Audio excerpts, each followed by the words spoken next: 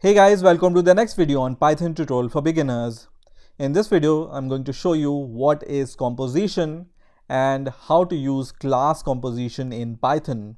So to start with, I have two classes here. One is an employee class and other is the salary class. Now in the salary class, I have this init method which takes two argument pay and bonus and it sets these two arguments to the member variables of this class. Also, I have a method called annual salary which is used to calculate the salary. Now in the employee class, I have this constructor which takes four arguments which is name, age, pay and bonus. Now what do you think? Can we apply inheritance here? The answer is no because there is no is a relationship between salary and employee.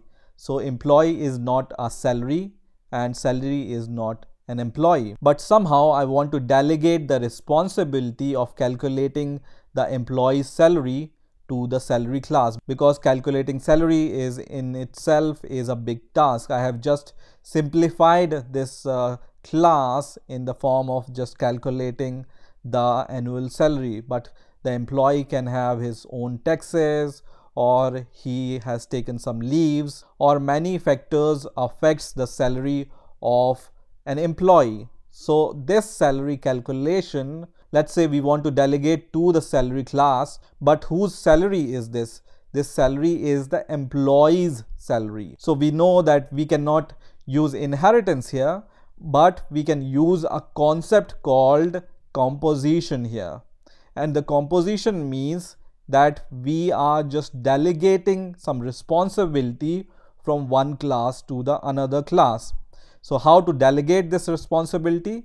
We can uh, just create one uh, more variable here. For example, self dot obj underscore uh, salary, which is the salary object we are going to create using the salary class. Okay, and this salary class takes two parameters one is pay another is bonus which we are already providing using the employee init method. So i'm going to just pass this pay comma the bonus into the salary class. So we are instantiating the salary class inside the employee class. So here one class which is an employee class acts like a container of the other class which acts like a content. Okay? So salary class is the content and the employee class is the container of this salary class. Now in order to calculate the total salary we can define one more method here and i'm going to just say total underscore salary.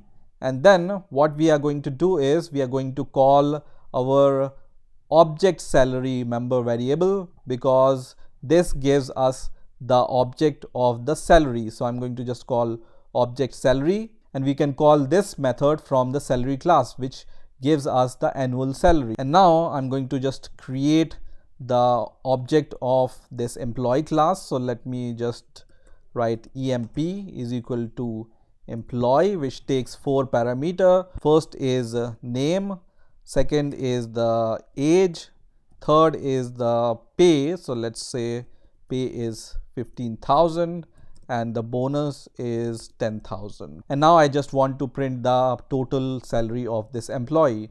So I can just write print and then emp object dot the total salary which is total salary method. And you can see here this total salary is returning. Let me just use the return uh, keyword also because we are returning this annual salary from the salary class using this total salary method. So let's run the code once again and let's see what happens. And you can see annual salary is printed and this annual salary is calculated using the salary class. So what this employee class has done, it has delegated some responsibility to the other class which is the salary class which gives us the annual salary of an employee and this here is called composition. Now one interesting thing which you will notice here is we are not instantiating salary here we are just instantiating